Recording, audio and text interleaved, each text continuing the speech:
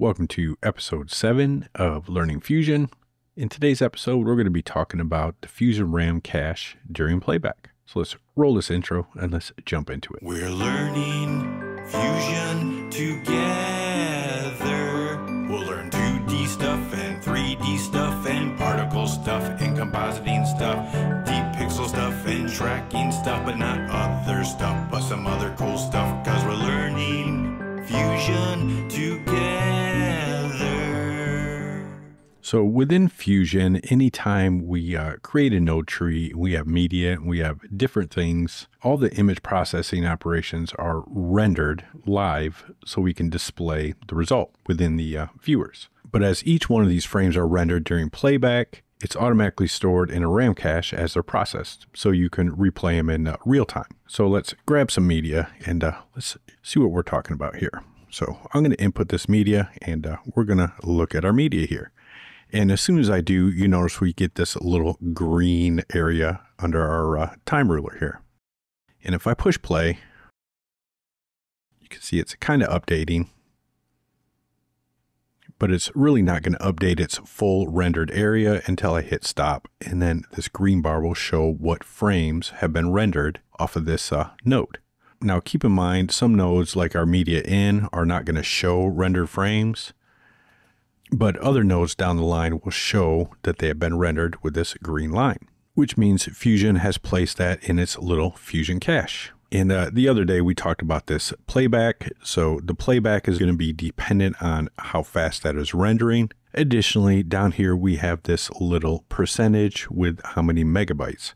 And this is our RAM used. So how Fusion uses RAM, and to be able to show this, we need to go up to our DaVinci preferences. And uh, under our memory right here, we can limit the memory used within Fusion. And how it works within DaVinci Resolve is we have our system memory, and it's going to use 75% of that for Resolve. And then out of that, it's going to use 75% of the Resolve for Fusion. So if we bring up a, uh, let me find a calculator here just to show it. So I've got 63.7 gig of system memory available. So 63.7 times 0.75 equals 47.775, which is our 47.8. And then 75% of that, that Fusion is allowed to use, times 0.75 equals 35.8, which is 35.8. So that's the max that DaVinci Resolve in Fusion can use. So it's going to depend on your system memory. So the more memory you have, the more Resolve can use, meaning the more Fusion can use. And the only way to adjust this is you can adjust it down, but you can't go beyond that 75%. And that's what's showing down here is that 75% of that 75% within Fusion. So as it's rendering, you see this percentage going up. That's what percentage of that 75% of 75% that is being used. So how this works is it's not going to render every single node every single time. So as an example, I'm going to bring a color corrector in and uh, let's bring in a cinematic haze because we know that is extremely uh, memory intensive. Let's go ahead and connect that into our little media out. So as soon as I do, you notice it cleared. But first of all, some nodes like this, no matter uh, whether it's rendered or not, is going to show the fact that it's been rendered. And I'll show you here in a second. So if we go to our media out and uh, let's actually go to our corrector first. So we're going to bring our corrector up. You notice it's not rendered and let's uh, change our color so we know it's that node. If I push play,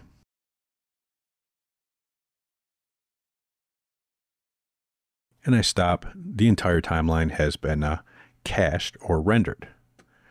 Now, if I bring up a double here, let's bring that there and our media out over here. Let's even change our cinematic haze so we really know what's going on. If I look at our media out, it has not been cached, but our uh, color corrector still has. So this is display dependent as well, meaning if I go ahead and render this forward, you may think that both of them are being cached, However, we're selected on our media out, so that's what's being showed. But if I select our color corrector, you can see our color corrector is still cached. So if I go down to one, you can see we're still trying to cache. But if I bring in our color corrector, it's already cached, so it's going to play back real time. If I switch back to our little uh, media out here, now it's got to uh, generate that cache and our playback has gone way, way, way down.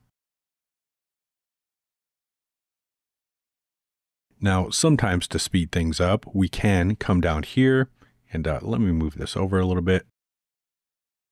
If we right click on our percentage here, we can select purge cache. So if we've been working on stuff all day long and uh, you find stuff's getting slow, if you go here and just select this purge cache, you notice it just cleared everything, including our cached color corrector. So now it's got to recache all this stuff. But now if I go back and I push play, you can see it's a little bit faster on the uh, caching because we purged that cache. Now, additionally, we have uh, other options like uh, if we right click on our media out, we have this cache to disk option. So if we select that, now we just enabled that cache to disk and uh, now it's being cached at this location. We can select that folder and change it if we want. But by default, this is going to be caching where you have your system cache set up. And if I hit OK, it's saving that cache, and uh, we know it's got a little cache save because there's a little disk icon on our node. But unfortunately, if we play this and we cached it all out, and we went to our haze node and uh, made a change, unfortunately, it's not saving that cache. So it's going to have to recache everything. It's just resaving the cache. So it's really not making anything much faster. And if I want to go here, I can go to cache to disk and I can delete that cache. So if I select delete cache, it's going to ask, hey, we've got 42 cache files in here. Do you want to delete them? Yes, I do. Okay, now it's been deleted. Additionally, if I right click and go to cache to disk, I can select this pre-render. So if I select pre-render, this just allows me to go ahead and pre-render everything, go make a coffee, and I'm good. But if you notice, if we bring up a double view, it's not doing anything to our other node here. It's only pre-caching what's on that little node tree.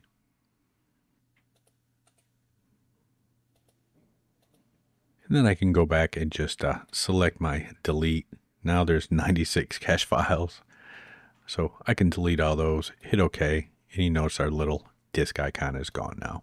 And that's just a good way if something's taking you a super long time to play through and uh, you want to go grab a coffee and pre-render that out to see what's going on, you can. And another way to uh, kind of make stuff a little faster, let's go ahead and purge our cache. If you remember right, we talked about our little playhead, and if I right click on our little play, we can change our frames that are being rendered. So if I want to skip and only render every single eight frame, I can hit play and it's going to skip and only render every eighth frame. That way I don't have to sit here and look at every single frame. I can still kind of do my work and uh, it's a little faster. And if you notice on both of them, so on the media out, every eighth frame, additionally on our color corrector, every single eighth frame. Then if I want to go back and uh, render everything, I can just go back, select one, push my play button, and now it's going to render every single frame. So that's how the Fusion RAM cache works within Fusion. I will see you in the next episode.